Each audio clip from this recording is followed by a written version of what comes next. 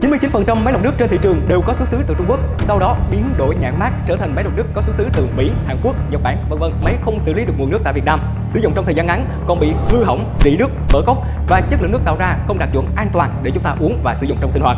Một khi máy lọc nước đã cũ, đã quá hạn thì còn gây nguy hại cho sức khỏe của chính chúng ta nữa.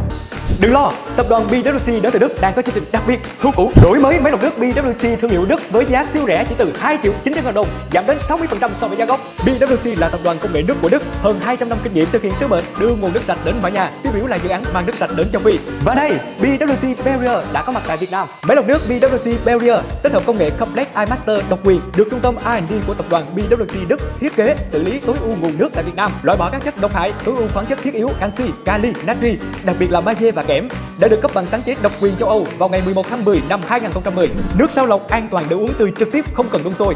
Tuổi thọ lõi lọc đến 8.000 lít, dễ dàng theo dõi qua WhatsApp Leader. Chi phí thay lõi thấp, dễ dàng thay lõi tại nhà. Sản phẩm luôn có tem nhập khẩu chính hãng từ chính phủ và lõi lọc thì được đúc nguyên khối, có khuôn riêng cho nên rất khó giả mạo. Máy lắp âm tủ nhỏ gọn, không dùng điện, không có nước thải, đạt nhiều chứng nhận chất lượng uy tín, đạt chuẩn nước uống của Sở Y tế Hà Nội và Viện Pasteur Thành phố Hồ Chí Minh, hoàn toàn an tâm trong suốt quá trình sử dụng. Máy lọc nước BWC Barrier thương hiệu Đức đã có mặt tại Việt Nam và được ủy quyền phân phối chính hãng cho các trung tâm phân phối máy lọc nước uy tín trên toàn quốc như Thế giới Giải. Liên hệ ngay đến số hotline hoặc đến showroom gần nhất để biết thêm thông tin.